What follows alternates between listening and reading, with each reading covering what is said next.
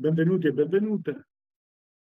Anche se il mio linguaggio non sempre è conforme alle nuove regole grammaticali del linguaggio inclusivo, nessuno si sente escluso nella nostra sala telematica, né per genere, né per etnia, né per il colore della propria pelle, né per le proprie convinzioni religiose o politiche. Accettiamo di discutere il nostro pensiero anche con i nostri avversari politici e sociali, purché su un terreno di sana lealtà. Apriamo con questa sera un ciclo di incontri che abbiamo chiamato l'alba del sol dell'avvenire, perché riteniamo che le radici della società che auspichiamo, comunista e libertaria, stiano nelle azioni e nei pensieri di quegli uomini che nella seconda metà dell'Ottocento hanno gettato le basi della nostra identità. Il primo incontro è dedicato alla prima internazionale in Italia, puntando l'attenzione e facendo risaltare anche e ovviamente non solo l'azione degli internazionalisti pugliesi. Il secondo incontro, previsto per il 18 febbraio, è dedicato alla figura di Emilio Covelli, che ultimamente, grazie anche ai lavori giovanili di Mario Spagnoletti, è stato riscoperto dai giovani della sua città natale da Trani. Il terzo incontro nel mese di marzo lo dedicheremo ad una trasformazione epocale, come questi uomini che sulla scia della Comune di Parigi puntano inizialmente alla insurrezione delle masse diseredate, man mano trasformano il loro pensiero e passano dalla teoria dell'insurrezione alla teoria dell'organizzazione sociale. Associazioni di mutuo soccorso, leghe, camere del lavoro, abbandonando quasi del tutto la via insurrezionale e ipotizzando una nuova organizzazione sociale partendo proprio dalle organizzazioni di resistenza dei lavoratori. La linea del nostro orizzonte è stata tracciata da queste generazioni di militanti vissute nella seconda metà dell'Ottocento. Spetta a noi oggi il compito di incamminarci verso l'orizzonte indicato per raggiungerlo. Chi è Mario Spagnoletti? Che intanto ringrazio per aver accettato il nostro invito. Mario Spagnoletti è un militante comunista, studioso del risorgimento e del movimento operaio e socialista. Già docente di storia, di storia dei partiti e movimenti politici, presso l'Università di Bari. Mario, se sei pronto, io ti lascerei la parola. Sono pronto, Totò. Allora io eh, intanto saluto tutte eh, le partecipanti e i partecipanti e ringrazio Totò della occasione che mi ha dato eh, di ritornare eh, a riflettere eh, su una serie di spezzoni della storia del movimento operaio italiano nell'ambito ovviamente del più ampio movimento operaio internazionale, che eh, aveva, avevano costituito punti di riferimento, come ha detto bene Totò, eh, di miei studi giovanili. Perché io ritengo eh, sia particolarmente eh, importante e significativa questa occasione? Perché mai come eh, nel, negli ultimi 40 anni, direi, c'è stata una disattenzione, sarei per dire quasi totale, nei confronti eh, dell'internazionalismo e eh, delle radici di questa idea che eh, in qualche modo era nata proprio nell'ambito della seconda metà dell'Ottocento come punto eh, più alto di riflessione e di unificazione delle prime battaglie, delle prime lotte del movimento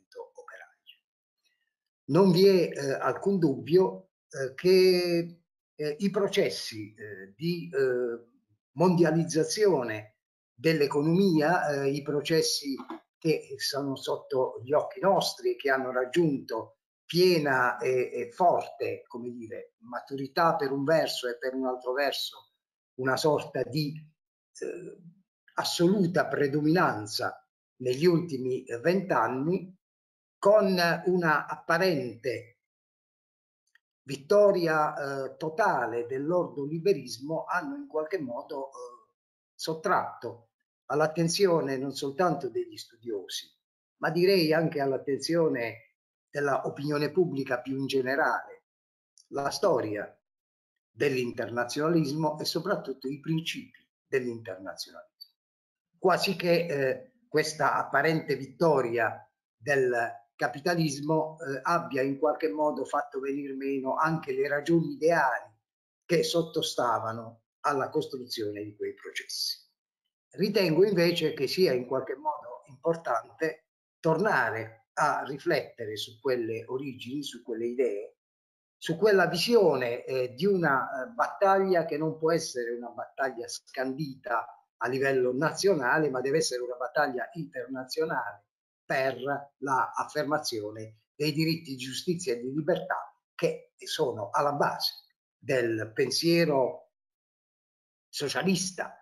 Quando dico socialista eh, non faccio riferimento a questa o a quella dottrina del pensiero socialista in generale e quindi a buon titolo anche del pensiero anarchico. Io credo che eh, due elementi in qualche modo abbiano in questi ultimi due, tre decenni cooperato a far sì eh, che eh, vi fosse una sorta di damnatio memorie su, intorno a queste tematiche, a questi studi. Per un verso quella che ho detto, e cioè eh, questa predominanza, per dir così, eh, di una società all'interno della quale eh, tutto pare in qualche misura scandito e organizzato sulla base di, una, di un predominio assoluto del capitale a livello mondiale e quindi dei processi di mondializzazione e globalizzazione. Dall'altro lato il fatto che assai spesso eh, la storiografia ha finito in sostanza per accettare una sorta di modello e quindi per dedicarsi ad altro tipo di studi che hanno eh, obliato questo settore della ricerca. A questo si aggiunge un ulteriore elemento, e cioè il fatto che eh, questi studi che avevano pur raggiunto una loro eh, grande consistenza e maturità all'altezza degli anni 70 e degli anni 80 del XIX, eh, del XX secolo, eh, in fondo hanno finito per arenarsi in una eh, contrapposizione che è stata una contrapposizione eh, di tipo ideologico. All'interno di questa contrapposizione il movimento anti-autoritario, il movimento libertario, il movimento anarchico ha subito a sua volta una ulteriore damnatio memorie se si eccettuano una serie di studi, poi li ricorderò rapidamente, che eh, viceversa hanno portato avanti queste tematiche. Consentitemi di partire da una citazione. Ripubblicando nel 2014, quindi appena otto anni fa, il suo volume su Marx e la prima internazionale, Gian Mario Bravo nella premessa questa nuova edizione del 2014 così scrive. Ai medesimi anni, cioè gli anni di costruzione della prima internazionale, 1864, 1870, 1871, risalirono i brevi testi di estrema pregnanza politica e fondatamente rinomati l'indifferenza in materia politica Marx dell'autorità Engels, apparsi per la prima volta in Italia, che segnarono il confine ideale e culturale che anteponeva la questione dell'organizzazione politica del mondo del lavoro di classe ma aperta al dialogo con la democrazia repubblicana, contrapposta, e qui è il punto che mi interessa sottolineare, contrapposta alle confusioni e alle astruserie dell'anti-autoritarismo, dell'anticentralismo, del disordine chimerico e semplicistico degli estremisti e ingenui libertari. Perché ho voluto fare questa citazione, partire da questa citazione. Questo è a mio modo, Totò ha detto che io sono un militante comunista, Totò ha detto la verità, ma io sono anche uno storico, o mi sforzo di essere uno storico. Perché questo tipo di cliché interpretativo ha finito per oscurare la possibilità e la capacità di analizzare in maniera seria, approfondita, storiograficamente corretta tutte le componenti del movimento operaio e socialista italiano delle origini, partendo cioè da una premessa che è una premessa ed è un giudizio di tipo negativo, anzi è un pregiudizio, evidentemente l'analisi di tipo storico, l'analisi di tipo storiografico ne risulta profondamente non soltanto segnata, ma arretrata rispetto alle possibilità di eh, individuare dei filoni, poi si possono condividere al 100, al 50, al 60, al 10%, ma comunque individuare dei filoni sui quali il giudizio deve essere un giudizio maturatamente storico e non un giudizio ideologico, o meglio, un pregiudizio. E siamo, quando scrive queste parole Gianmario Bravo, al 2014, appena otto anni fa. Questo significa che una lunga vulgata e una lunga tradizione che risale sostanzialmente alle polemiche apertesi nel corso delle battaglie politiche e ideologiche nel seno della prima internazionale ha finito per diventare la cartina di tornasole che ha condizionato la ricerca storica, le posizioni storiografiche, le analisi sulle origini del movimento operaio e socialista in Italia. Ora, se si possono capire le eh, polemiche anche roventi nate proprio nel corso delle battaglie politiche per la preminenza all'interno della prima internazionale o dell'Associazione internazionale dei lavoratori. Per intenderci, se si possono capire, capire non significa eh, condividere, capire non significa giustificare, ma comprendere anch'esse da un punto di vista storico le violente polemiche di Marx e di Engels contro l'alleanza, non si comprendono invece le posizioni degli storici che finiscono per essere sostanzialmente completamente appiattite sui risultati e sui presupposti di quella polemica. Potrei leggere un brano famosissimo peraltro, scritto eh, da Engels e pubblicato come risposta del Consiglio generale dell'Associazione internazionale dei lavoratori a eh, diciamo la, le battaglie in seno alla prima internazionale e, noi avremmo un perfetto cliché che viene sostanzialmente ripetuto di fatto nelle affermazioni di uno storico come Gianmario Bravo che però non scrive, guardate bene, nei primi anni 70 dell'Ottocento, scrive viceversa nel 2014.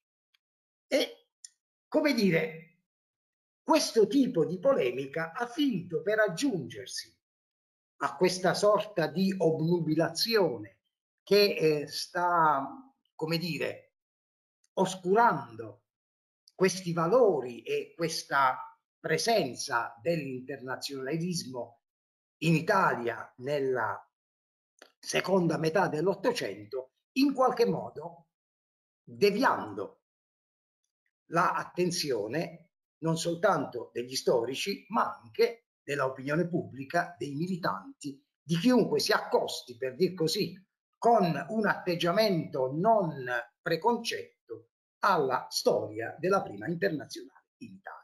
Scusatemi il lungo preambolo, ma era indispensabile per far capire come e perché, a mio giudizio, vi è eh, questa sorta, vi è stata questa sorta di vi è stato questa sorta di oscuramento, soprattutto negli ultimi decenni. Certo, poi vi sono i lavori di storici seri, eh, in, in primis Giampiero Berti, che ha pubblicato volumi fondamentali, non mi riferisco alla, mi riferisco alla storiografia degli ultimi due decenni, certo ci sono i lavori, i lavori di Piercarlo Masini, ma per, per restare diciamo a una storiografia a noi più vicina ci sono i lavori di Berti, di Carlo De Maria, ci sono i lavori di Adriana Dadà, di Giorgio Sacchetti, che indubbiamente hanno offerto una serie di contributi validissimi,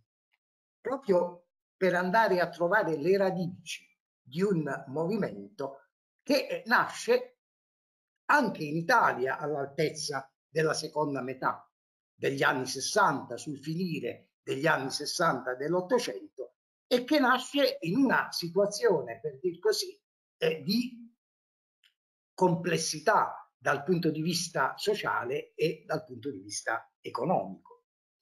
Intanto io vorrei mettere in evidenza un aspetto. L'idea che eh, Marx sia stato, Marx ed Engels, siano stati gli unici protagonisti della nascita e della costruzione della prima internazionale dal 1000 864 sino alla data del suo trasferimento negli Stati Uniti è eh, una idea che va in qualche modo ridimensionata. L'Associazione eh, internazionale dei lavoratori a Londra nasce soprattutto ad opera di rappresentanti delle trade unions inglesi e eh, di associazioni del eh, movimento operaio francese, in particolar modo di ispirazione prudoniana. Lo stesso Marx viene invitato a partecipare sin dall'inizio alla fase costitutiva della prima internazionale soltanto eh, in quanto per lui garantiscono e chiedono la partecipazione due suoi grandi amici, il tedesco è Carius e eh, il, lo svizzero Hermann Jung. Poi è chiaro, Marx è personaggio di caratura culturale alta ed ha anche grandi capacità tattiche e strategiche. Evidentemente riesce poi in qualche modo a imprimere alla costituenda Associazione Internazionale dei Lavoratori un suo peculiare indirizzo, correggendo per esempio quelli che erano stati eh, i progetti di statuto eh, che erano in qualche modo opera non di socialisti o protosocialisti, ma erano opera di un mazziniano come il maggiore Wolf. Quindi capacità manovriere, capacità tattiche, ma certamente non è il padre della prima internazionale. Su una questione, ovviamente, bisogna prestare attenzione. Una questione che avrà poi eh, una lunga, faticosa gestazione e soprattutto che costituirà il punto di rottura di fatto tra le due anime della internazionale. E cioè i famosi considerando che eh, aprono i preamboli degli statuti provvisori approvati a Londra nel 1864. C'è uno di questi considerando che è particolarmente significativo per un verso e che diventerà spinoso per un altro verso, e cioè considerando che L'emancipazione economica delle classi lavoratrici è il grande fine a cui deve essere subordinato ogni movimento politico come mezzo.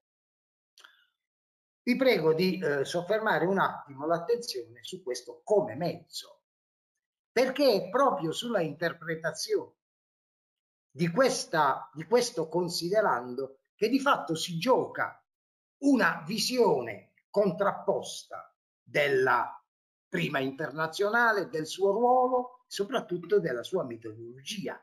Prima ancora delle questioni relative all'autoritarismo interno, alla centralizzazione dei poteri.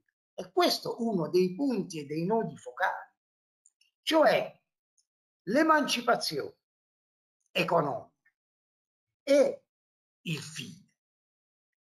Le forme di organizzazione politica, cioè il movimento politico, sono il mezzo cui da utilizzare per il raggiungimento di questo fine. Non sono esso stesso il fine.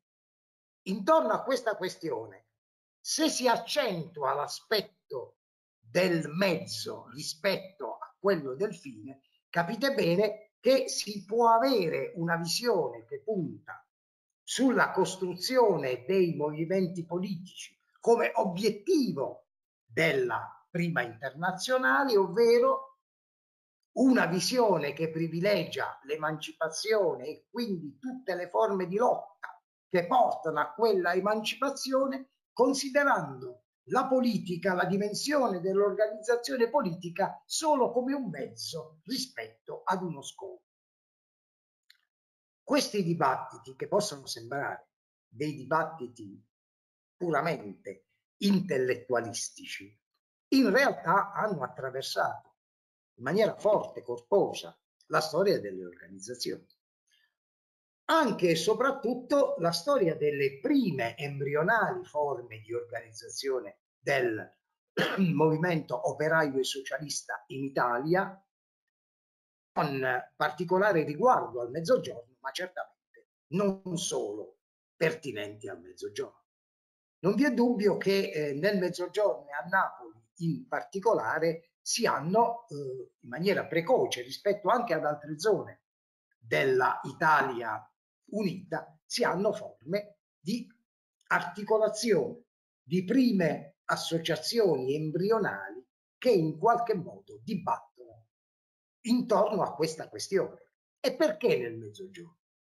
Perché il mezzogiorno in qualche modo aveva vissuto il forte dibattito subito dopo il processo della unificazione nazionale, aveva vissuto il forte dibattito sulla, sui limiti, sulle strettoie, sulle aporie della unificazione nazionale.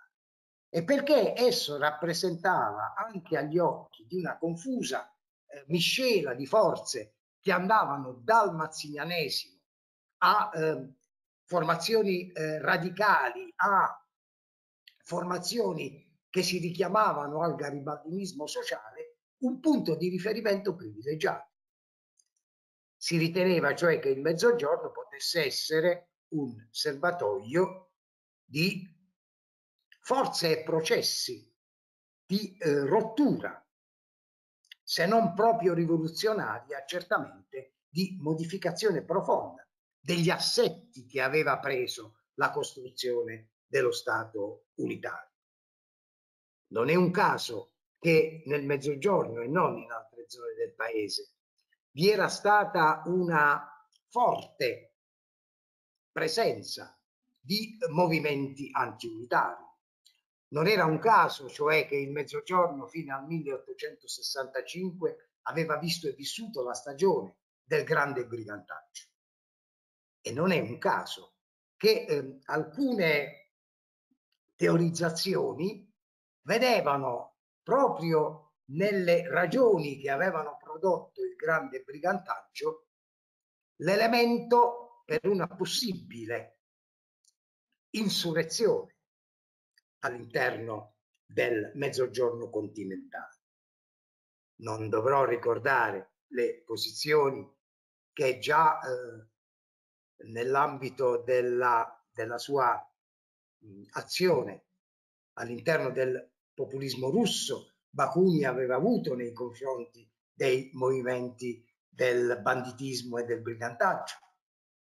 Non devo ricordare qui che in un suo noto scritto pubblicato da Franco Venturi proprio nel volume sul populismo russo e intitolato Posizione del problema politico 1869, proprio Bakunin aveva posto il problema di utilizzare questo serbatoio rivoluzionario perché nelle campagne c'era una tale disgregazione sociale che eh, poteva costituire eh, la miccia di uno sconvolgimento degli assetti di tipo economico, sociale e statuale che avevano visto in Italia la prevalenza delle forze, delle forze moderate.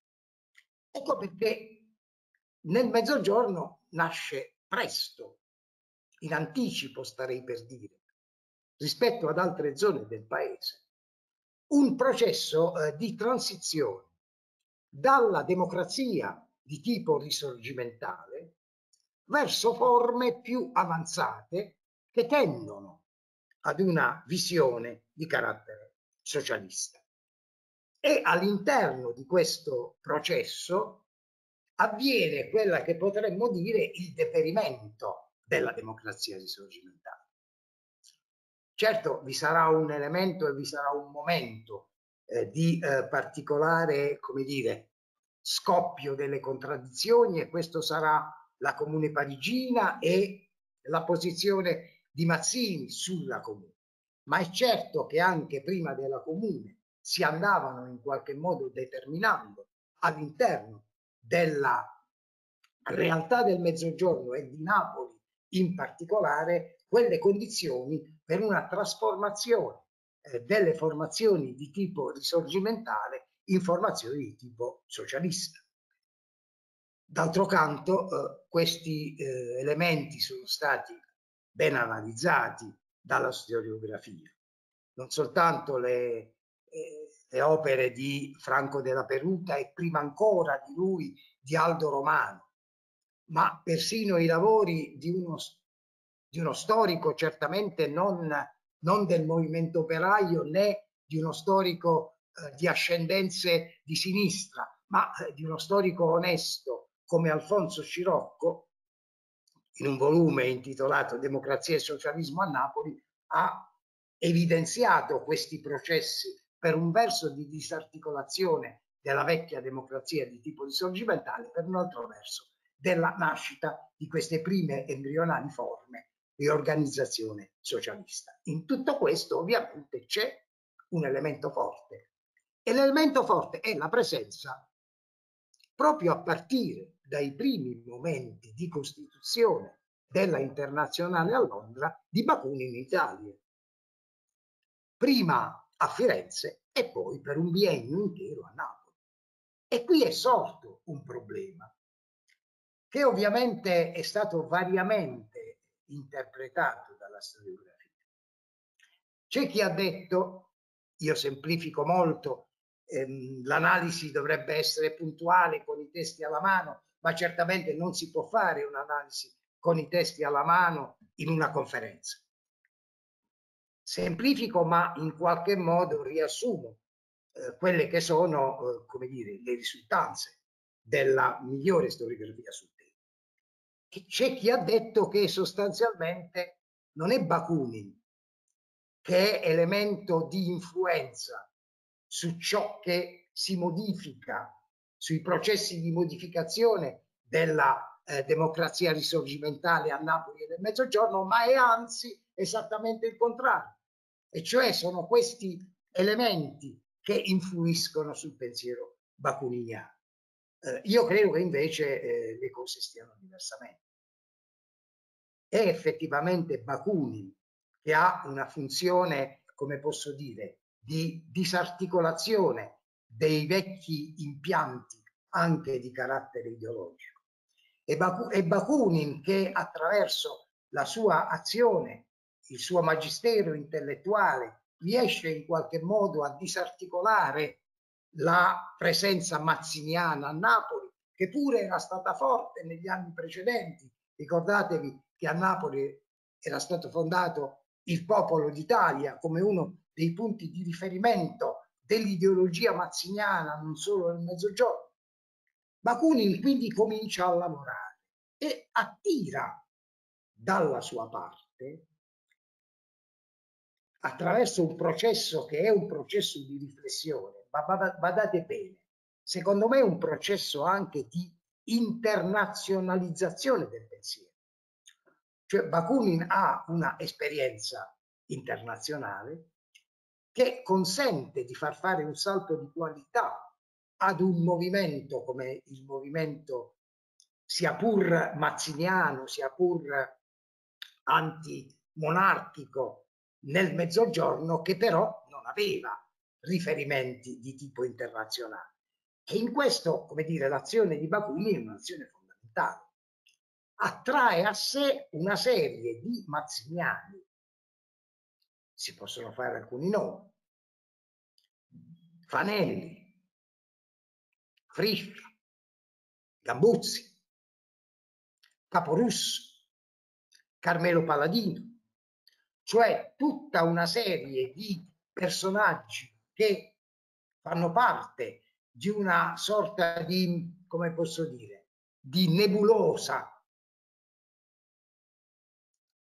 che riesce a compiere una transizione da una vecchia visione, che era la visione del compimento della nazionalità e della repubblica, senza aggettivi però, cioè i due temi fondamentali del pensiero mazziniano garibaldiniano ad una visione diversa, che non è più quella della Repubblica San Fras, cioè di una Repubblica che non abbia al suo interno dei contenuti di carattere fortemente sociale e soprattutto che il compimento della nazionalità non ha alcun senso, visto che il problema è quello della emancipazione delle classi lavoratrici e l'emancipazione delle classi lavoratrici non si raggiunge a livello nazionale, ma si raggiunge con una lotta di tipo internazionale e soprattutto non si raggiunge con la mera costituzione di una repubblica,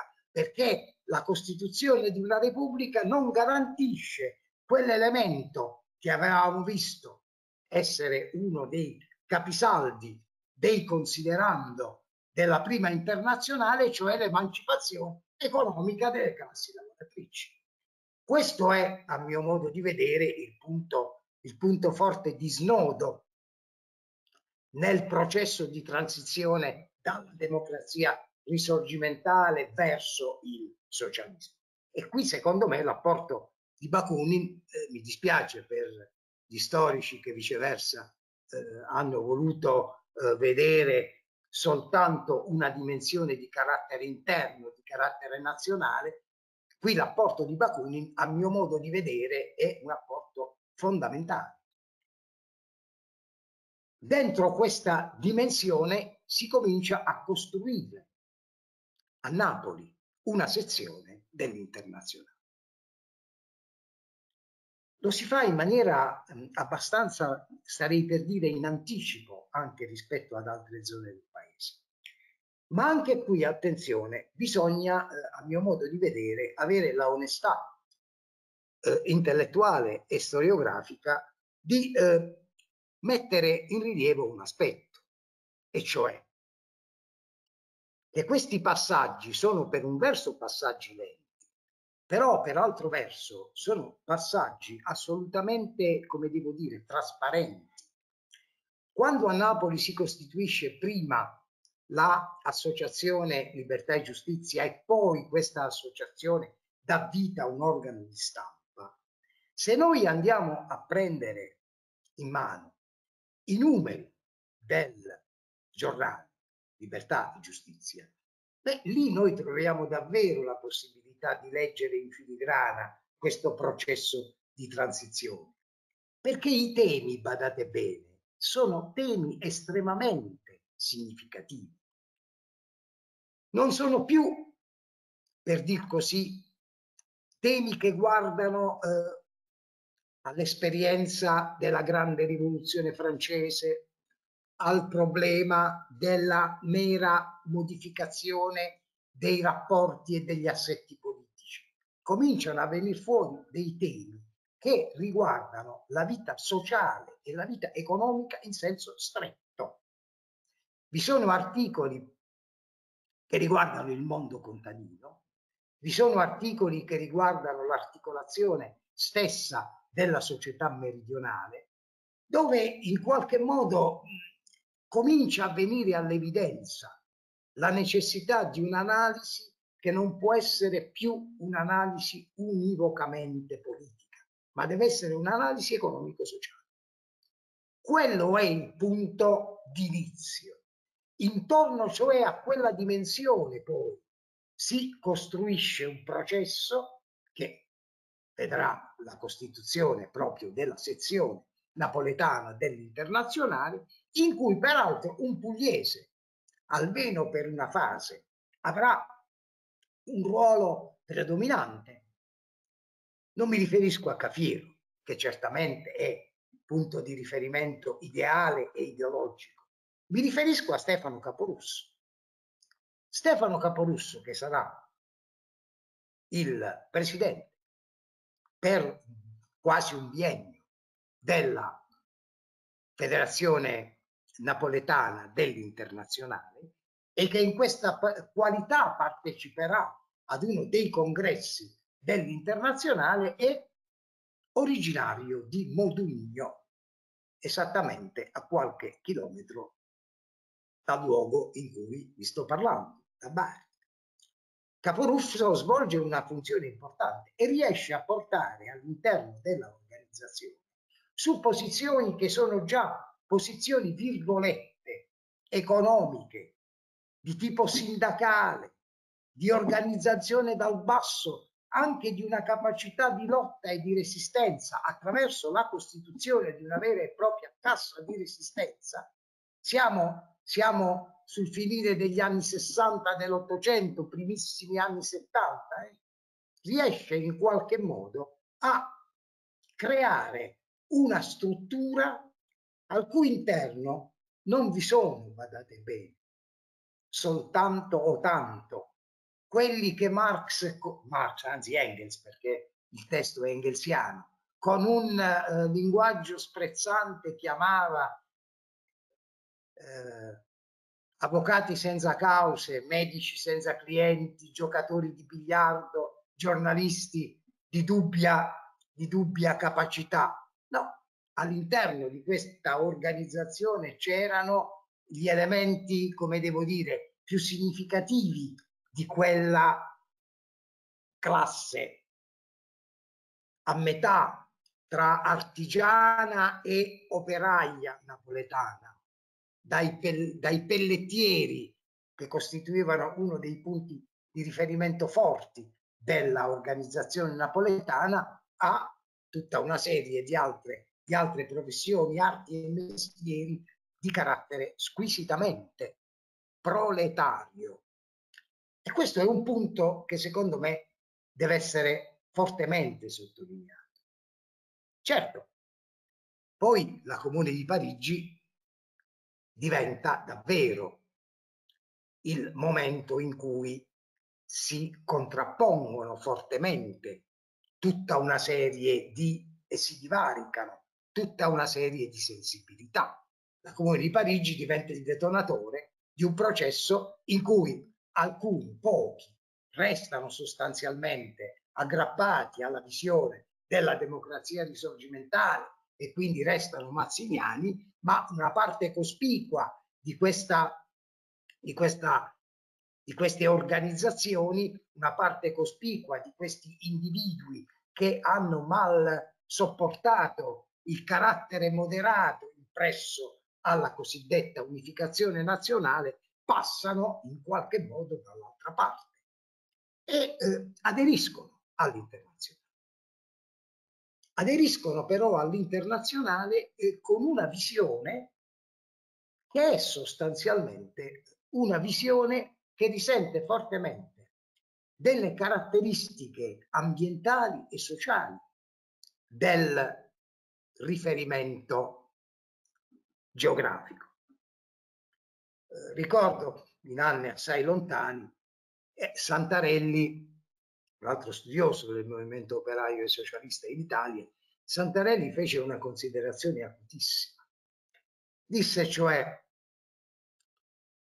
possiamo guardarla in ogni modo, ma non vi è dubbio che la organizzazione della internazionale, della prima internazionale in Italia, in particolar modo nel Mezzogiorno, è una organizzazione fortemente caratterizzata da elementi bakuniniani, perché questi elementi bakuniniani meglio rispondevano alle condizioni sociali di riferimento di quei territori in cui si andava innervando l'Organizzazione Internazionale dei Lavoratori. Questo processo non è solo un processo che riguarda Napoli, questo processo pian piano comincia in qualche modo a diffondersi anche nelle altre province meridionali, anche in Puglia, anche in Puglia. Attraverso, come devo dire, lo stesso processo di carattere culturale, di carattere ideologico, ma anche eh, attraverso, come devo dire, l'azione che alcuni punti di riferimento del movimento a Napoli svolgono nelle province, perché questi provengono dalle province, alcuni di questi provengono dalle province. Non si spiegherebbe altrimenti la costituzione eh, di una, prima di una, di una sezione poi addirittura eh, di una federazione barlettana dell'internazionale. È evidente che la presenza di eh, Cafiero e il ruolo, il magistero di Cafiero, le sue, le sue eh, capacità di direzione politica eh, spingono verso la costituzione di questi, di questi gruppi, di, di, queste organizzazioni di carattere, di carattere eh, politico. Ma allo stesso modo si possono individuare altre presenze. Nel Barese, ad esempio, anche in terra di Bari si costituiscono prime forme embrionali che aderiscono all'internazionale anche nel lontano Salento, che sembra ovviamente il territorio più, come devo dire, più lontano e per certi versi anche più legato a forme di una proprietà fondiaria asfissiante, anche nel Salento cominciano a costituirsi questi gruppi e nel Foggiano. E negli anni successivi vi saranno tutta una serie di interrelazioni tra questi gruppi. L'elemento che io credo sia fondamentale è ovviamente questo. Non dappertutto il movimento riesce a radicarsi, non dappertutto il movimento riesce a dar vita a forme organizzative che abbiano i caratteri della persistenza.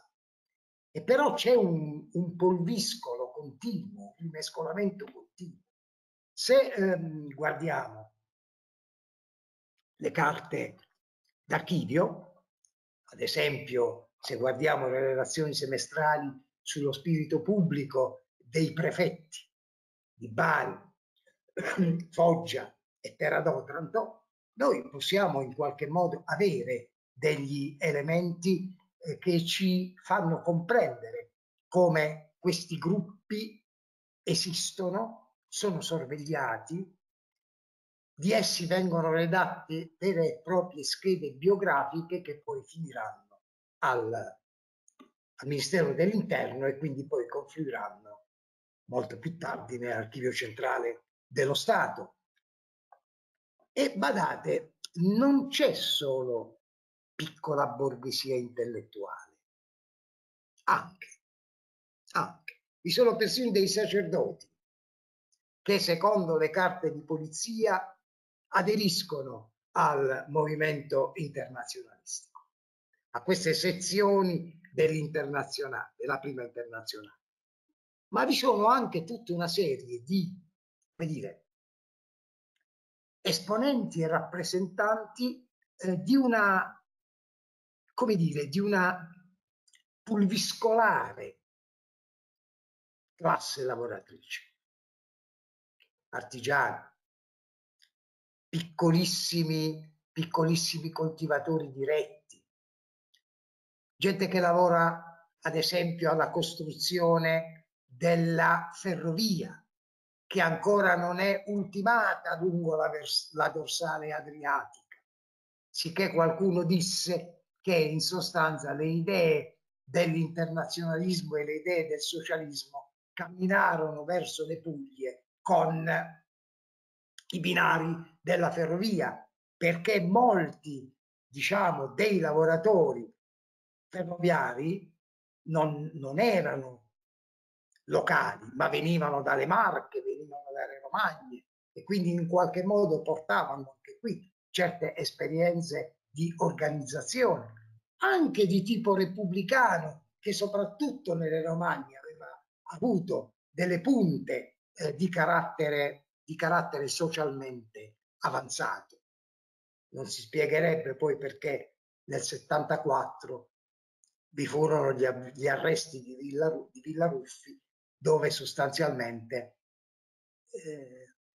i, i repubblicani stavano valutando e decidendo se dare una mano ad una ipotizzata e sognata rivoluzione sociale, cioè se partecipare a quella che Aldo Romano chiamò in un capitolo di, un suo, di uno dei suoi tre volumi sul movimento operaio italiano, chiamò fervida vigilia di insurrezione. Questo per dire sostanzialmente come una analisi attenta, ma soprattutto un'analisi onesta, non possa in qualche modo accettare una impostazione storiografica di carattere ideologico. E se lo dico io, che anarchico come sapete non sono mai stato,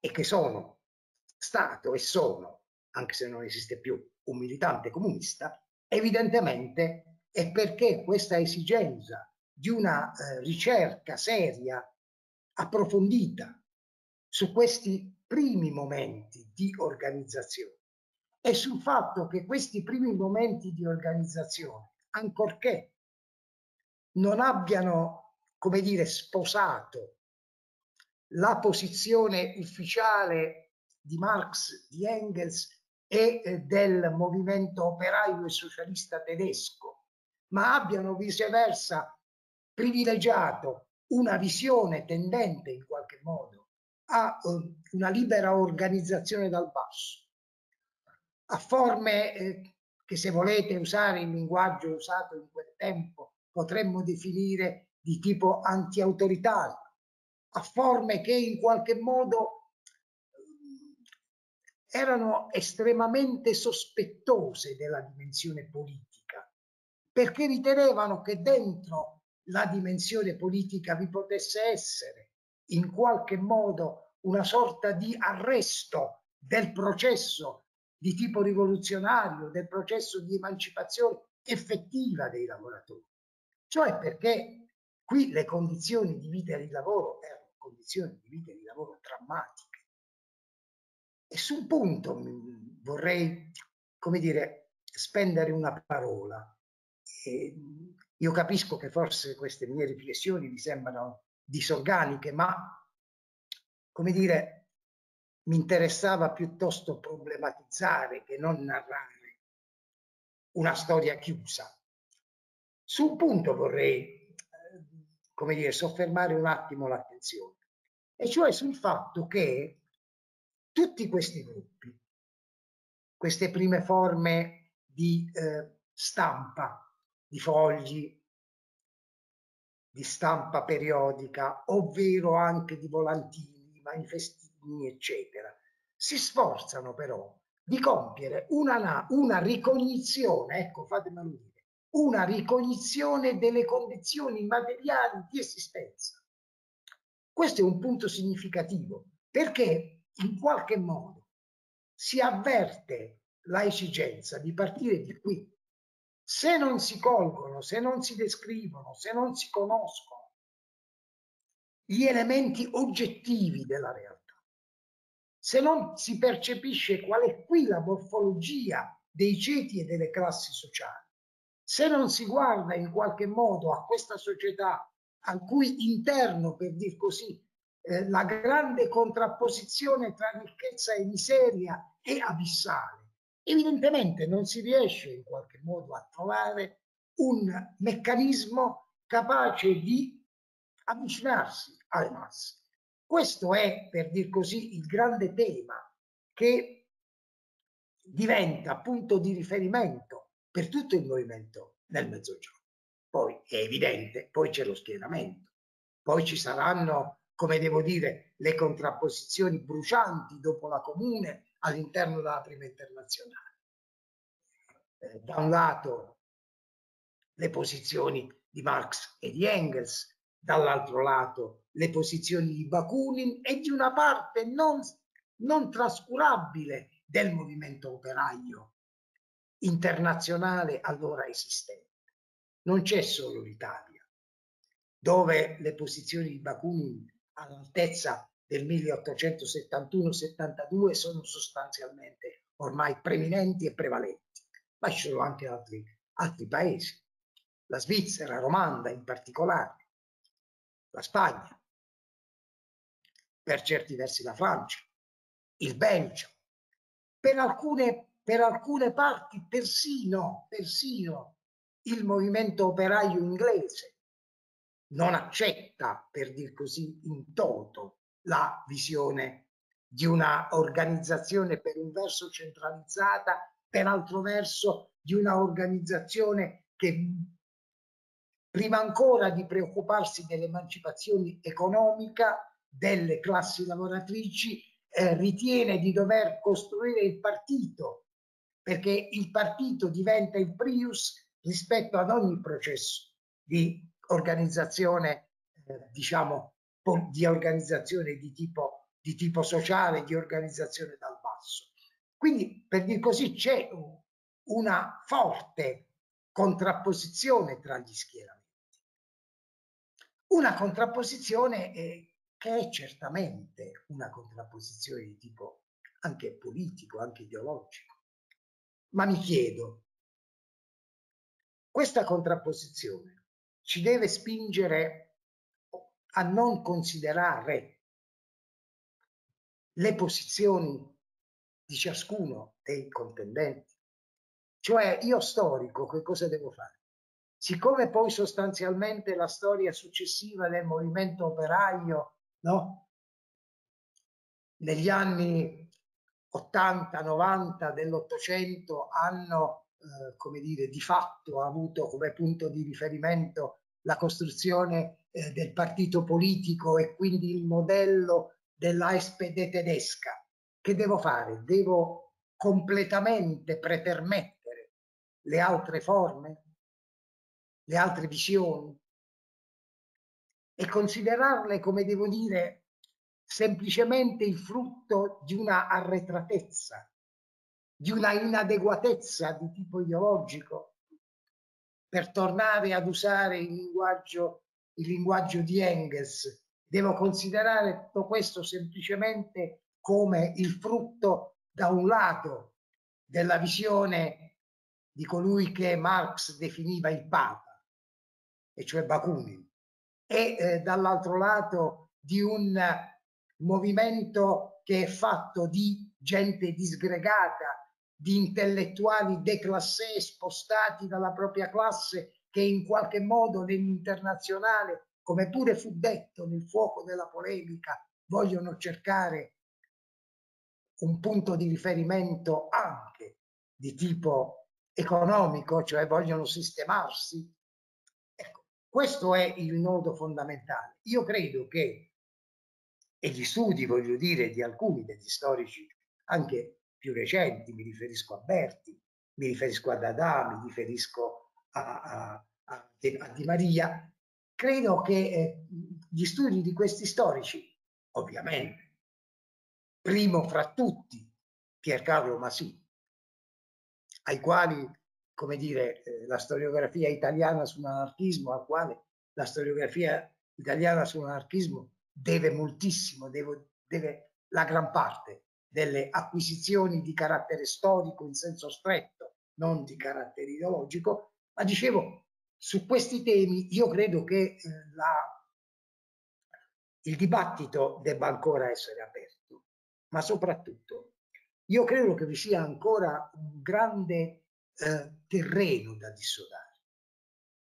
Perché per esempio eh, su alcuni di questi personaggi facevo riferimento a Caporusso, certo su, su Cafiero c'è una letteratura storiografica consolidata, ma su personaggi come Caporusso, su personaggi come, come lo stesso Fanelli, su personaggi come Covelli, su personaggi come Murgo, che pure negli anni successivi avrà un ruolo nella organizzazione eh, o nel tentativo di organizzazione e riorganizzazione dell'internazionale in Puglia dopo i fatti di Castel del Monte su questi personaggi c'è ancora da scavare, ci sono grosse lacune di carattere storiografico. E la Puglia, come dire, è seconda solo a Napoli per ciò che attiene al contributo di carattere eh, organizzativo, di carattere intellettuale, di carattere politico che ha dato alla alla prima internazionale sino alla sua estenuazione sul finire del 1878 quando gli anarchici ritengono che ormai la partita è persa e bisogna emigrare, come in gran parte fanno. Per dire, credo che ci sia un grande spazio ancora per la ricerca storica, un grande spazio che però è difficile, è difficile tentare di colmare per la situazione degli archivi, per le difficoltà materiali della ricerca, per il fatto che eh, alcuni di noi sono ormai vecchi e stanchi e non hanno trovato giovani eh, disponibili, come dire, ad andarsi a sporcare le mani nelle carte d'archivio. Eh, quando lavorai su sugli internazionalisti pugliesi e poi su Covelli, consentitemi da vecchio di fare questa piccola, questa piccola rammemorazione. Eh, io guardai eh, i, cinque, i cinque fasci del processo di Trani contro gli internazionalisti. Eh, è il processo per i fatti Castel del Monte e questo, questi cinque fasci de, del processo erano conservati allora nella sezione di archivio di Stato di Bari, sezione di Trani.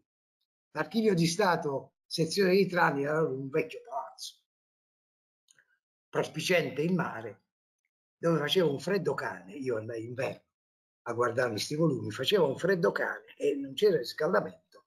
E, e siccome non esistevano allora la possibilità di fare fotografie né eh, fotocopie, io prendevo appunti a mano e la mano era sostanzialmente anchilosata dal cielo. Non è uno scherzo. Cioè, voglio dire, oggi le condizioni sono molto più agevoli, tuttavia non riusciamo, non si riesce a trovare giovani studiosi che si vogliano cimentare su queste tematiche. Forse per le ragioni che dicevo all'inizio, forse perché queste tematiche hanno perso, hanno perso vigore, hanno perso eh, come posso dire, fascino, fascinazione sulle nuove generazioni. Ma io credo che eh, vi sia ancora molto spazio. E quando parlerò eh, di Covelli, la prossima volta, io vi mostrerò come addirittura noi avevamo punti di riferimento intellettuali avanzatissimi, capaci cioè già all'altezza del 1870-71 di conoscere non soltanto le opere della economia politica classica, ma di aver letto in lingua Marx, in lingua tedesca Marx. Questo per dirvi come, tutto sommato, questo contributo che eh, le Puglie hanno dato, le Puglie perché allora erano le tre Puglie, Terra di Bari, Terra d'Otranto e Capitanato, hanno dato alla costruzione di un movimento operaio e socialista. Nelle forme dell'anarchismo prima e in forme diverse successivamente, tuttavia è un contributo fondamentale che non è stato, come dire, fino in fondo esplorato, ma soprattutto che non è stato messo in valore da parte di una storiografia che sulla base di una malintesa ortodossia, dico malintesa ortodossia marxiana o marxista, ha rifiutato di studiare queste, queste forme di pensiero e di organizzazione, ritenendole sostanzialmente arretrate. Arretrata era questa storiografia e per larga parte, consentitemi di dirlo, anche fortemente ignorante. Grazie. Io avevo... Nestor, avevi delle domande da fare? Chiedo scusa per la, vi chiedo scusa per la disorganicità, ma il tema era così ampio che io non sono riuscito a fare una, come devo dire, a, a produrre un testo scritto che fosse in qualche modo leggibile nel tempo che in qualche misura è possibile richiedere all'attenzione di persone come noi, normali, come siamo tutti noi. Allora, eh, posso intervenire? Ok. Innanzitutto volevo fare i complimenti perché nonostante tutto invece è stato molto coinvolgente, a me è piaciuto molto e soprattutto vorrei lanciare il fatto che non è vero che non ci sono giovani che si occupano de- della cosa, noi per esempio come bru- gruppo Baconin di Roma ci stiamo occupando di diversi settori dell'anarchismo sociale, effettivamente da un po' più ta- cioè dalla banda del Matese fino ai giorni nostri, insomma, quindi effettivamente la prima internazionale potrebbe essere una cosa da, da riprendere molto volentieri, quindi lancio la cosa, se vogliamo rimanere in contatto volentieri. Allora, le due domande che volevo fare era uno riguardo appunto la banda del Matese, nel senso se può essere considerata per come eh, si è realizzata con la partecipazione da parte di mazziniani, garibaldini, eccetera, non solo anarchici, se può essere considerata una prosecuzione degli ideali eh, della prima internazionale per la sua composizione e non solo per gli effetti che ha avuto.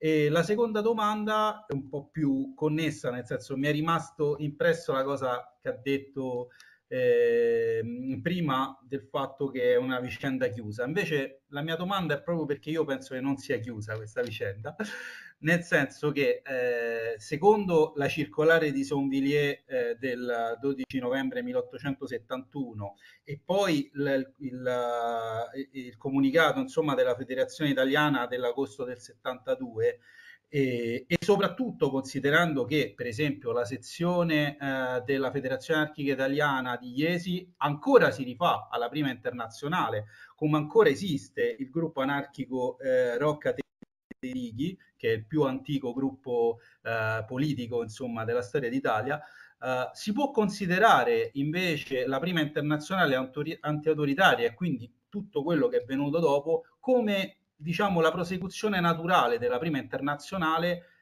che, e, e possa i, i suoi ideali mantenersi ancora in questa esperienza e comunque in certi principi che poi sono il fondamento no? Del, dell'internazionale di Sant'Imie.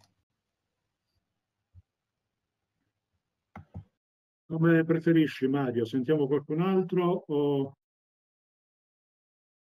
Non ho preferenze personali, come tu ritieni sia meglio disciplinare il dibattito. Se c'è qualcun altro, modo che facciamo una... Eh, altrimenti puoi rispondere, Mario, non c'è problema. Prima, intanto lascio che qualcuno, qualcun altro a pensare, io racconto un aneddoto. 75, 1975-1976 professor Mario Spagnoletti, allora lo chiamavo prof, professor Mario Spagnoletti, io andavo all'Università di Bari, tiene una conferenza di fronte, in, nei locali di una parrocchia, a San Pasquale, di fronte alla chiesa, praticamente c'era un locale, su Marx e Bakunin. Viene in sede un compagno delle scuole medie, perché erano studenti medi a cui era rivolta la cosa. Totò, Totò, devi venire, devi venire, devi parlare. Perché dopo che ho ascoltato Mario Spagnoletti non ho avuto nulla da dire, onestamente, né allora né adesso. Quindi E ho trovato sempre degli ottimi spunti nelle sue relazioni, eh, anche molto condivisibili. Qualcun altro che ha riflettuto?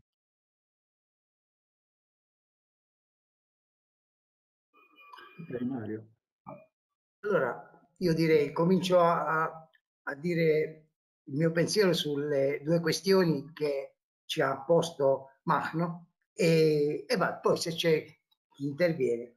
Allora, no, volevo fare intanto una piccola precisazione, cioè eh, quando ho detto non ci sono giovani che hanno eh, voluto riprendere questi temi, mi riferivo alla Puglia, eh? cioè era, era, come devo dire, limitata geograficamente la mia affermazione. In Puglia io non credo, Totò forse eh, ha, più, ha più elementi, diciamo, conoscitivi di me, non credo che vi siano stati ultimamente studi specifici sulla Puglia in questa direzione. Fatta questa premessa, certamente sì, la, banda, la banda del Matese si richiama in maniera, come devo dire, puntuale alla, all'internazionalismo anti-autoritario, alla prima internazionale in Italia. Da un lato si richiama da un punto di vista politico-ideologico, basterebbe in qualche modo prendere in mano quelli che sono eh, i resoconti che eh, sulla stampa vi furono della banda, diciamo, dell'impresa di Letino e di Gallo eh, le, stesse, le stesse parole di Malatesta al congresso, quello che ehm, si dirà eh, in un giornale eh, che sarà fondato subito dopo l'impresa del Matese a Napoli da Emilio Covelli, e cioè l'anarchia, di cui esistono i dieci numeri eh, reperiti e reperibili presso l'archivio della Fondazione Feltrinelli per rendersi immediatamente conto come quella impresa è sostanzialmente la ripresa della fervida vigilia di insurrezione del 1874, quando con il bollettino della Federazione eh, Italiana dell'Associazione Internazionale dei Lavoratori, il primo, il secondo e il terzo bollettino, si chiamò alla rivoluzione sociale alla insurrezione sociale. Quindi certamente sì, da un punto di vista politico-ideologico, ma come credo bene abbia fatto a sottolineare eh, Machno, da un punto di vista anche della composizione dei partecipanti alla, alla scorribanda, virgolette, scorribanda, così la definivano i giornali borghesi del tempo, eh, sul, sul, sul Matese. D'altro canto,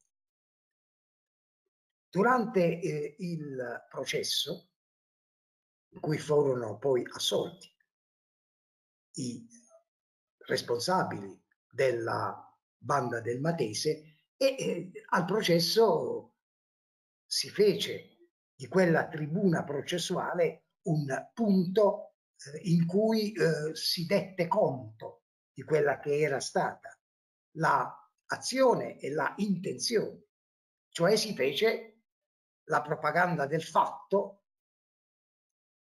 e si trasferì la propaganda del fatto in propaganda all'interno dell'aula di giustizia.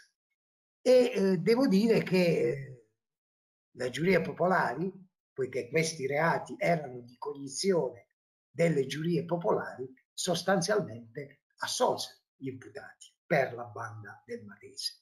Addirittura Covelli, che pure fu incarcerato per tre mesi, non andò nemmeno al processo perché la magistratura di Santa Maria Capoavedere in Camera di Consiglio lo eh, sostanzialmente eh, derubricò tutte le accuse a suo carico e lo mandò libero. Quindi non c'è dubbio che la banda del Matese sia effettivamente all'interno della visione strategica, politica e ideologica dell'internazionale autoritaria che nasce a Rimini e che, come dire, diventa il fulcro dell'internazionalismo in Italia. La, eh, seconda, la seconda questione. Io oh, non, non ritengo che la questione sia chiusa. All'inizio ho semplicemente posto in rilievo come negli ultimi diciamo, decenni la storiografia e in generale la opinione pubblica intesa nella sua dimensione più ampia e più vasta non abbiano più, come devo dire, dedicato attenzione ai temi dell'internazionalismo in generale e della prima internazionale in particolare. Ma eh, se proprio devo dire fino in fondo la mia personale opinione, io ritengo che quelle tematiche, ovviamente con tutti i necessari, come devo dire, eh, aggiustamenti che eh, un'analisi concreta della situazione concreta impongono, quei valori, ecco, siano valori pregnanti e che eh, possono e debbano costituire un punto di riferimento anche per l'oggi. Detto in termini più, consentitemi di essere banale e volgarizzatore, la questione della emancipazione economica delle classi lavoratrici non è risolta, non l'ha certamente risolta nella mondializzazione e nella globalizzazione, anzi essa si pone forse oggi in maniera altrettanto drammatica. Basterebbe vedere che cosa succede a livello italiano, ma non solo italiano, alle eh, giovani generazioni, le quali vivono una dimensione di assoluta precarietà, esposti, per dir così, a tutte, a tutte le forme di ricatto. Quindi non, non c'è stata questa emancipazione, anzi, anzi, c'è stato esattamente il contrario, c'è stata la società dell'1 barra 99. Ricordiamoci le analisi non di un pericoloso eh, eh, rivoluzionario attentatore, ma di un premio Nobel come Stiglitz. Stiglitz mette in evidenza che questa è la società in cui l'1% della popolazione ritiene, detiene una ricchezza che è sostanzialmente pari a quella del 99% della popolazione. Quindi i, i temi, come posso dire, i temi forti, le idee forti, le idee guida della prima internazionale, quelle idee per cui soffrirono patimenti, carcere, eh, eh, difficoltà di ogni tipo, e alcuni finirono, come ben sapete, persino in eh, case eh, di, di, correzione manicomiale, quelle idee, quei valori sono, come devo dire, dei valori che dovrebbero ancora costituire il punto di riferimento di ogni visione che si rifà alle tradizioni del movimento socialista e operaio, che si rifaccia ad una visione di sinistra della società che oggi, come devo dire, non trova, non trova nella stragrande maggioranza eh, dei riferimenti di tipo, di tipo politico e di tipo organizzativo.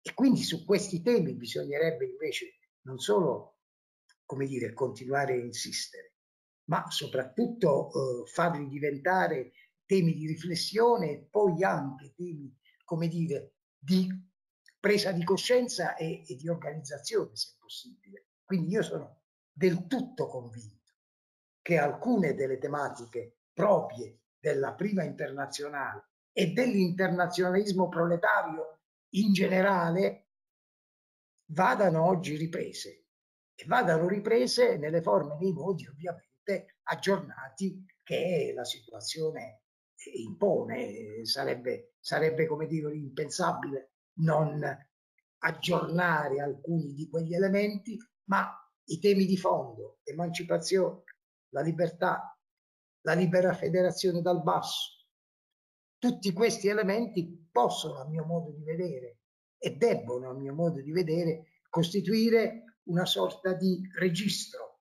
per l'azione eh, di eh, propaganda, di, di, di, di acculturazione che noi dobbiamo svolgere all'interno della società.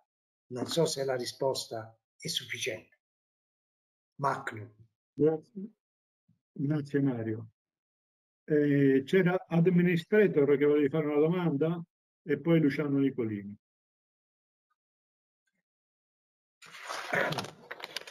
Prego.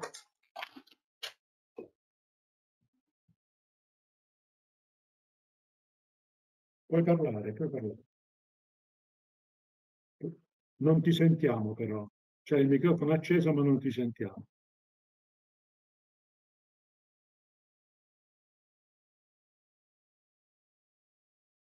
Riprova.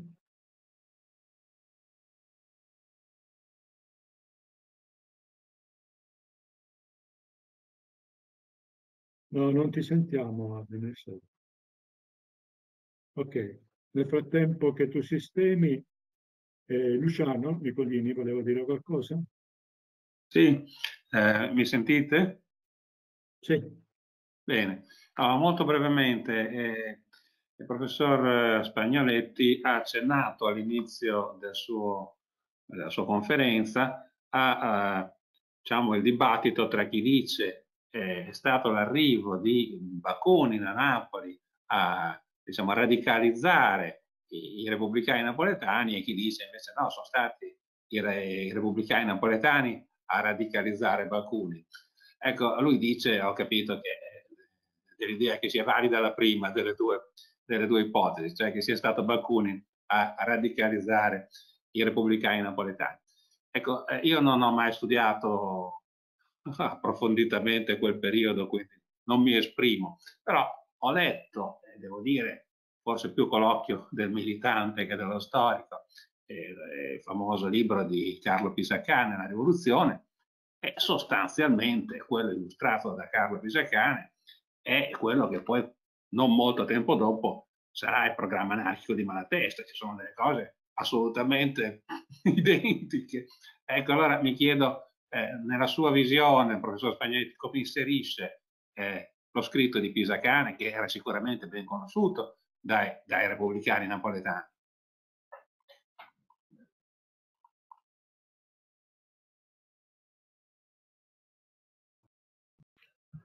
No, non vi è alcun dubbio che anche, eh, diciamo, la, non solo l'azione, ma la riflessione, tra virgolette, eh, teorica eh, di Pisacani sia nel suo scritto sia nel testamento eh, abbiano, come devo dire, eh, certamente un posto significativo e di rilievo all'interno del processo di formazione delle, diciamo, dei repubblicani, dei repubblicani eh, italiani e eh, dei repubblicani meridionali in particolare.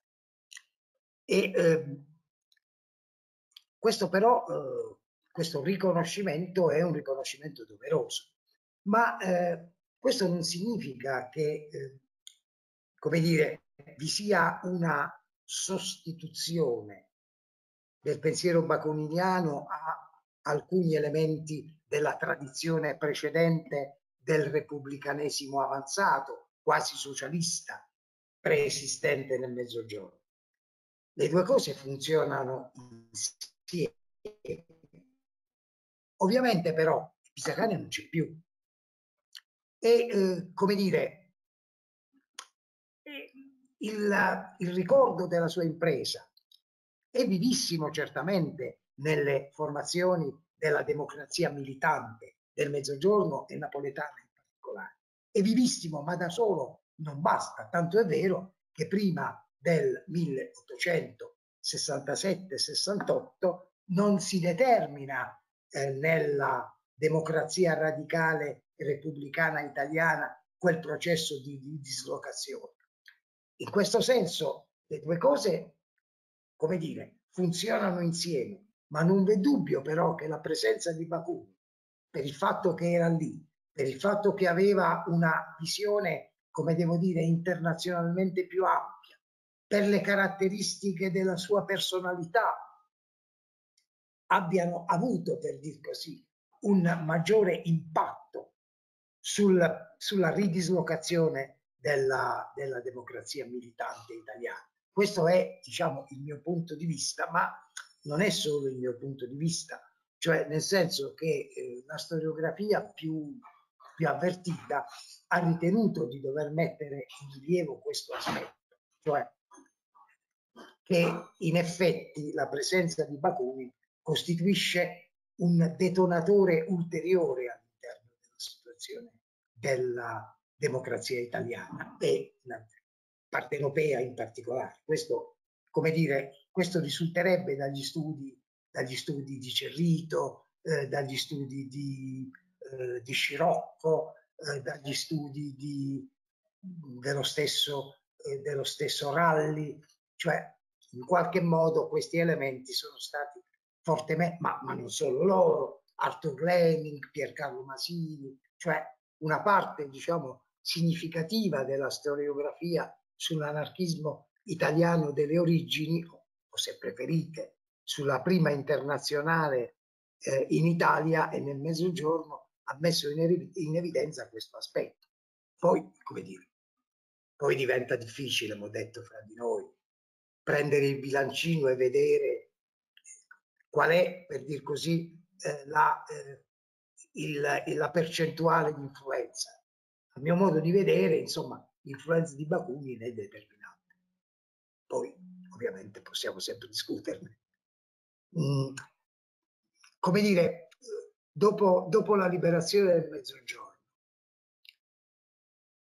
non mi pare che eh, diciamo, il ricordo di Pisacane pesi molto nel dibattito all'interno della democrazia eh, napoletana e meridionale. Ecco. Cioè c'è il ricordo, c'è, come devo dire, l'inchinarsi alla memoria, eccetera, c'è il riconoscimento del sacrificio. Sì, ma non si passa da questo però a eh, una eh, nuova forma o una nuova idea di organizzazione. Questo, questo mi pare, come dire, mi pare abbastanza, abbastanza evidente nella storia delle, di Napoli e delle province eh, napoletane dopo l'unità. Ecco, questo, questo posso dire. C'è Administrator, riesce a parlare adesso? No, non ti sentiamo. Ok, alla, alla prossima. Giampiero Landi voleva intervenire.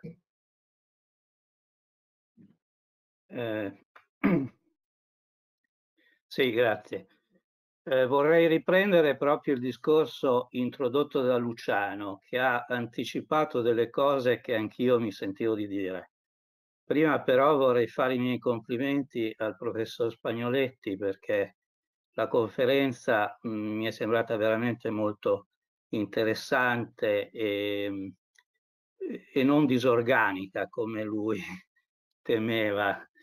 Eh, però per quanto riguarda proprio in specifico la questione eh, dell'apporto da un lato di Bakunin e dall'altro eh, della tradizione eh, che si può far risalire sostanzialmente al socialismo eh, democratico ehm, risorgimentale e in particolare proprio a Pisacane, io vorrei eh, ricordare che questa mh, tradizione era ben presente agli stessi internazionalisti o perlomeno a qualcuno di loro, anche di peso.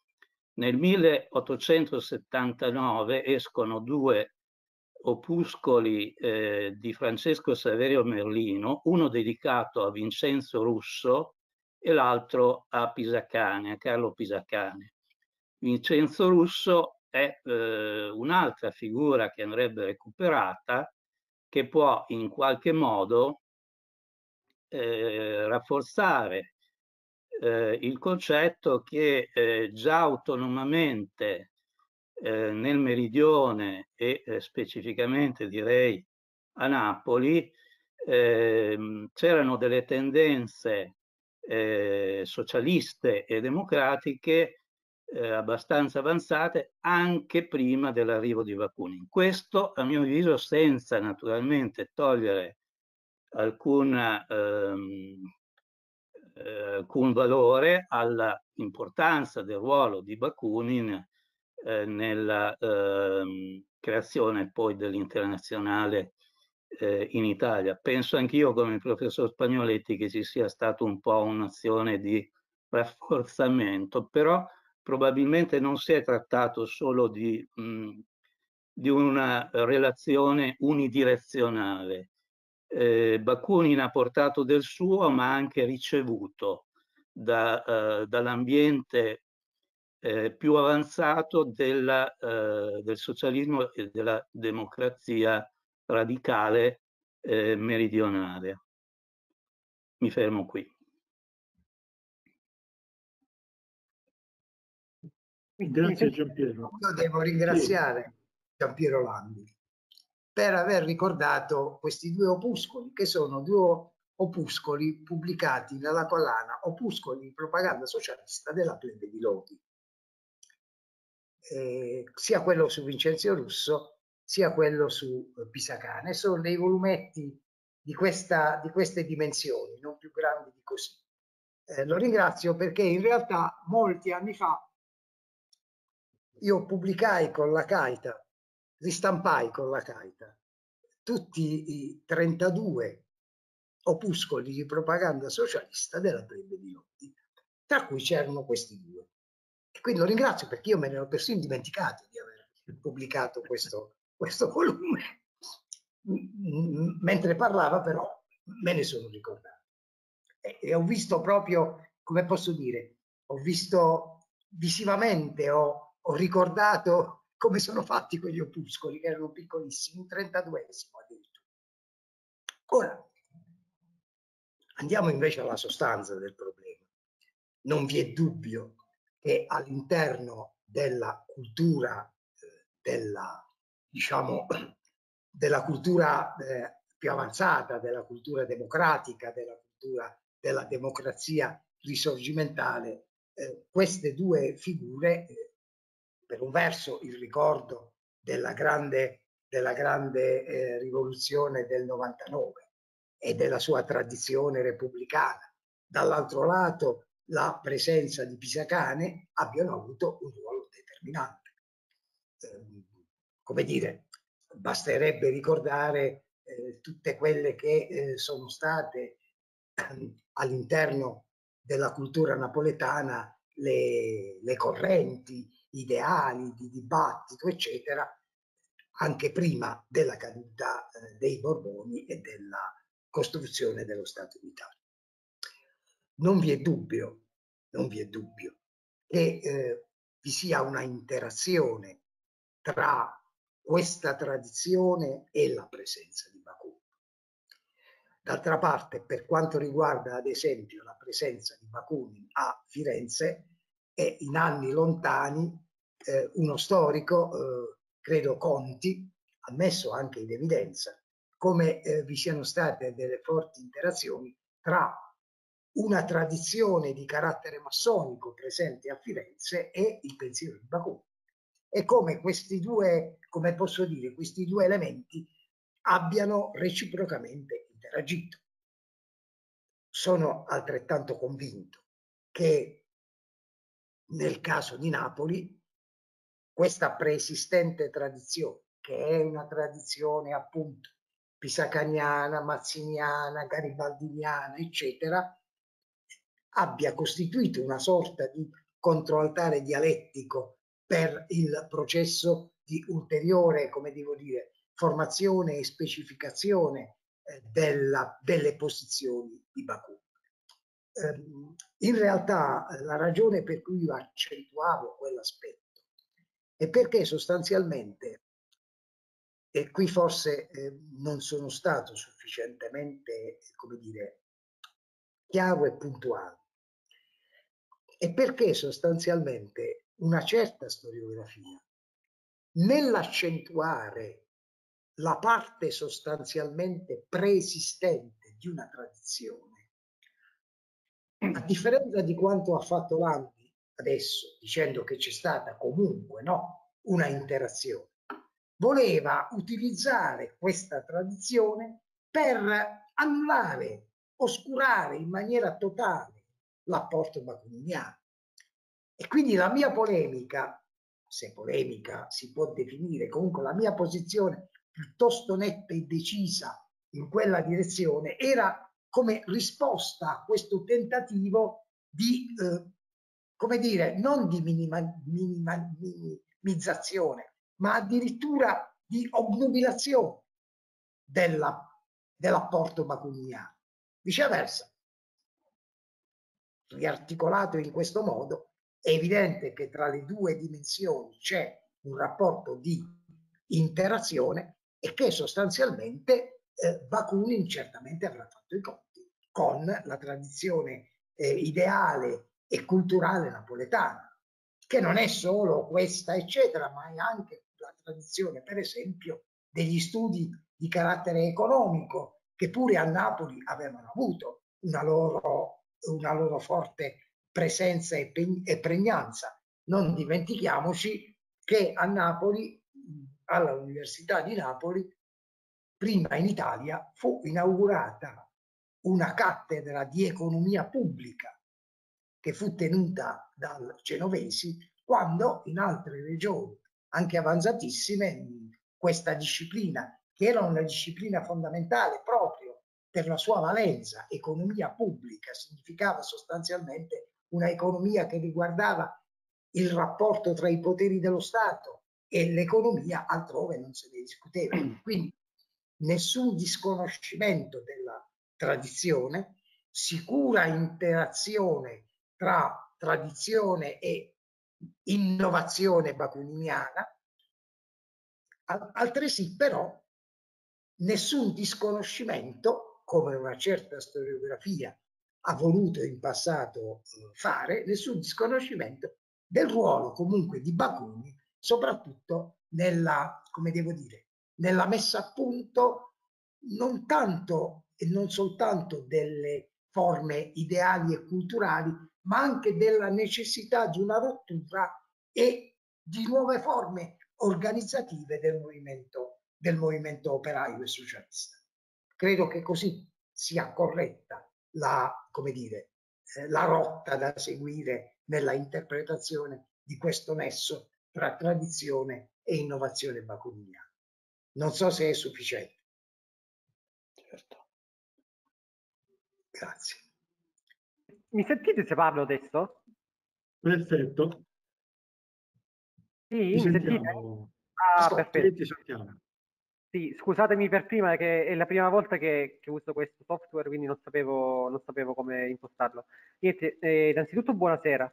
Eh, io volevo fare una domanda, se possibile, al professor, eh, non lo so adesso, eh, signor Mario Spagnoletti, riguardo al fatto che secondo lui, eh, specialmente in Puglia, e per inciso, io devo dire che è anche la mia impressione, ehm, non c'è eh, questa tendenza alla, ricer alla, ricerca storiografica da parte delle nuove generazioni riguardo queste tematiche. E, ehm, io volevo chiedergli se è d'accordo con me ehm, eh, o è soltanto la mia impressione che non valga questo discorso invece se lo riferiamo alla, alla, alla all'opposta fazione politica, cioè ai movimenti di destra, eh, quindi ai neofascisti, eh, i neo, insomma, a quelli che fanno riferimento alla, alla, all'estrema destra. Eh, a me sembra che in Puglia in realtà non lo so tanto, ma al, nel paese comunque in generale, in Italia, mi sembra che invece in, in questo senso la tendenza ci sia. È la mia impressione oppure è d'accordo con me? Eh, questa era semplicemente la domanda, grazie. Mario, a te per la chiusura. A questo punto, se non c'è qualcun altro che vuole parlare, no. Io mi okay. riferivo ovviamente alla ricerca, alla ricerca storica. Eh, quando ho detto non c'è questa attenzione, eccetera, verso eh, verso questi temi. Mi riferivo a giovani che si dedicano alla ricerca storica, ma ovviamente però esiste anche un rapporto tra questa eh, diciamo mancata propensione a studiare questi temi, questi perché altri temi viceversa anche i giovani studiano, no? Eh, quelli che sono i temi diciamo poi risultati prevalenti eh, dal secondo dopoguerra in poi, e cioè le grandi correnti storiografiche che facevano riferimento al Partito Comunista, al Partito Socialista, e quindi storia del PC e affini, storia del sindacato e affini, storia del, del Partito Socialista e affini, storia della democrazia cristiana, dei cattolici più in generale e affini. Eh, se il, invece la domanda, se ho, capito, se ho capito bene la domanda, invece la domanda è spostata, per dir così, eh, su, una, su un versante non di ricerca storiografica, ma sul versante più politico. Cioè, se eh, oggi le giovani generazioni abbiano o non abbiano eh, un rapporto con tematiche che riguardano eh, la destra, eh, gli atteggiamenti, il pensiero, virgolette, pensiero della destra. E questa è la domanda. Molto sinteticamente sì.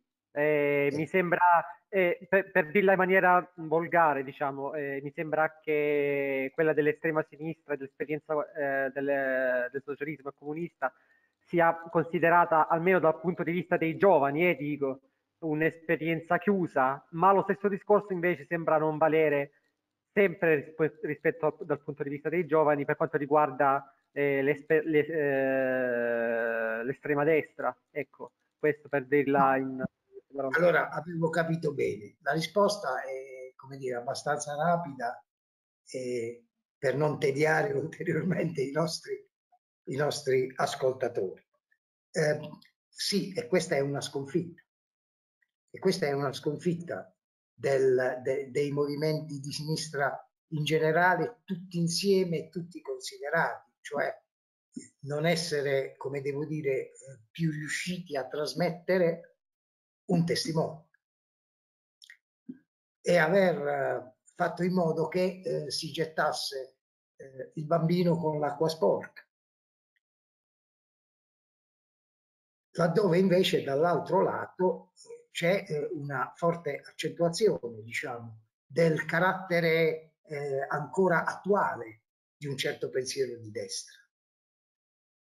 Questo è, questo è vero, insomma. Non, non sono in grado di avere, come dire, una raffigurazione in percentuali, ma non c'è dubbio che eh, una parte dei giovani o credono alla favola no? eh, del capitalismo capace di risolvere tutti i problemi attraverso la vecchia mano invisibile di Adamo Smith, e cioè le capacità autoregolatrici del mercato, o dall'altro lato addirittura con eh, una sorta di preferenza per esperienze eh, di carattere addirittura autoritario. E questa è una sconfitta, è una sconfitta della scuola, è una sconfitta dell'università, è una sconfitta degli intellettuali ed è una sconfitta dei movimenti politici, tutti insieme considerati.